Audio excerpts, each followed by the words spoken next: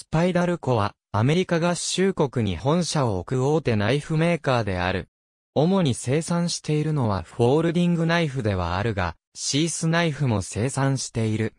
特徴的なサムホールとトレードマークを備えた製品スパイダルコミリタリー C36 GPB 系動車社長自らのデザインによるいくつかの特徴的なポイントがある。これらは登山のようなプロユース分野に特化した製品も多い。実用的で比較的廉価な製品群が多いことも特徴となっている。以下に製品のいくつかに共通する代表的な機能、形状を挙げる。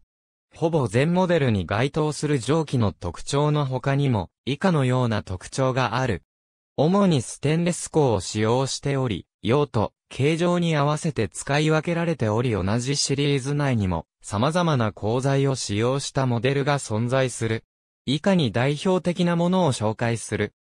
一部のモデルでは CTS-XHP、M390、N690 仕様、ATS-34、154CM、CPMM4 等も採用されると、スパイダルコのナイフに使われる鋼材は多岐にわたる。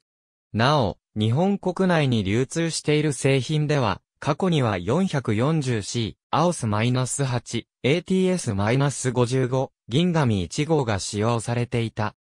例えば、C10 エンデュラでは、初代から現在のエンデュラ4へとマイナーチェンジするまでは、銀紙1号やアオス -8 を採用しており、主に VG-10 を採用している。現在においても ZDP-189 を使用したものもある。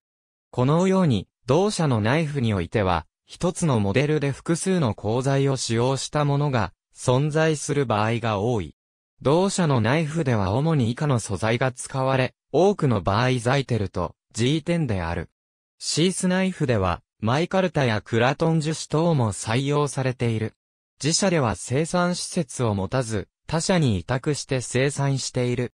ほとんどの製品は、日本の G 境にて、生産組み立てを行っており、そのため日本国内では、G 境製のものは、比較的安価に取引されている。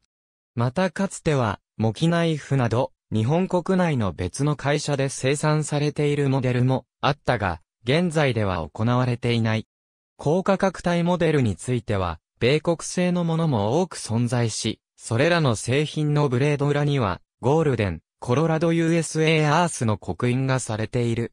他に、低コストなバードシリーズを中国を拠点に生産していて、デザインなどは他と異なり、サムホールが勾玉のような形状になっていたりするため見分けやすい。セレーションは採用されていないモデルがほとんどで、スパイダルコのロゴも刻まれていない。ところが、近年は中国製であっても、深淵のサムホールを備えた通常モデルが存在する。また、ごく一部のモデルについては、イタリア製や台湾製も存在するが、日本国外で生産された製品で、正規輸入品として、日本国内で販売されるモデルは少ない。ありがとうございます。